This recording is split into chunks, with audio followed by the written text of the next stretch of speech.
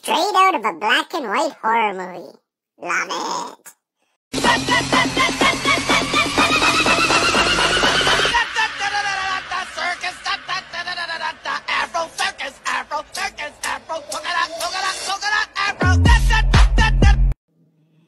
I love Coraline, but those button eyes always freak me out.